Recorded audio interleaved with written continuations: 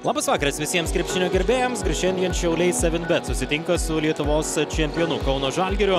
Svarbiausia šiandien yra apsiginti nuo varžovų taškų iš baudos aikštelės, o čia Elmaro taškai. Prieš du nepavyko su Giedriumi Stanuliu, dabar jau perdavimas ir du taškai krepšyje. Taškų tai buvo rezultatyviausias sezono mačas, nemažai buvo dėjimų iš viršaus.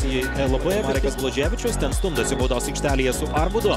Geras perdavimas, Lekavičius, kaip pamato Edgarą Ulaną. Blaževičius baudos aikštelėje kamulio nepagauna. Dabar jau šiauliečių greita ataka. Elmoras, du taškai krepšyje.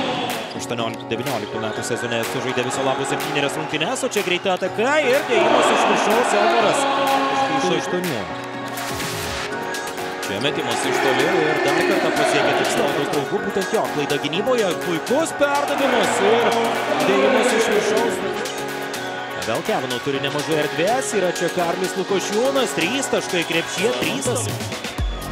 Perdavimas Websteriui, po to į kampą ir metimus tikslus. Edgaras Ulakai žaidžiama vienas prieš vieną, turėjo dabar prieš save Kevino, Elmaras galėjo verštis, gauna perdavimą ir taškai krepšyje.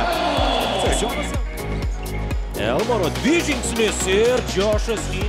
Websteris vėl gerai juda kamuolys, atrastas kampe Kevinau ir iš tokius metimus Kevinau traukė komandą į priekį ne kartą. Ir galima prisiminti priemus, o Elmaras yra žaidėjas, tikrai sunkus. Ir šį kelnį žalgiriečiai laimi dabar jau keturiais taškais, po to kaip Elmaras. Atgal Besbradicai ir kamuolys krepšyje nemanė Besbradicai. Taip pat Minkene Bayernė kol kas koronaviruso atveju nėra, bent jau kiek teko kalbėti su žalgiriečiais, o čia dėjimas iš viršaus ir dėjimas į perdavimą. Tokie momentai labai svarbus emociškai, jie pakelia ir tribūnas. Ir po to, žinoma, tokie įraigė iš pokrepšio ir Besbradico aikštėje. Šiandien porą kartų kamulio nepagavęs, bet ką išdės.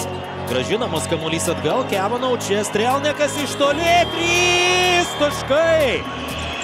Čia perdavimas į kampą.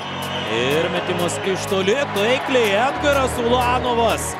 Nepavyksta prasižengti Arbudu ir tai yra viskas. Tri, trimis taškai šiandien pralaimi Šiauliai 7bet, bet padovanoja mums puikiai krepšinio dramą.